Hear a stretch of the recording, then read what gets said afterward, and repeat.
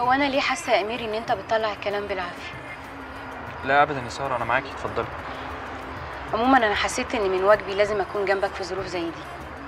لكن بصراحة كده أنا ابتديت أحس إن أنا تقيلة عليك. وأنا مش عايزة أسبب لك إزعاج أكتر من كده ولا تقل عليك. قصدك إيه؟ أنا مش فاهم.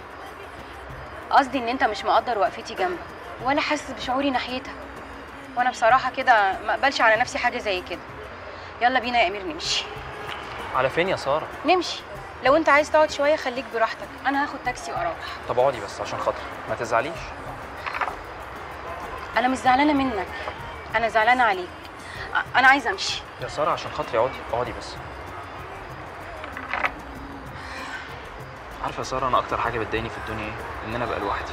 لأن أنا للأسف طول عمري لوحدي. غريبة. مع إنك لسه بتفكر في الانسانه اللي سابتك لوحدك وأنا واقفة جنبك وبرضه مش حاسس بيا عندك حق. عارف مشكلتي إيه يا أمير؟ إنك ما بتهونش عليا. رغم إن أنا بهون عليك. بص يا سارة أنا من هنا ورايا هحاول أقرب منك. واوعدك إني هقدر وقفتك جنبي كويس. بس عشان خاطري ما تسيبنيش لوحدي.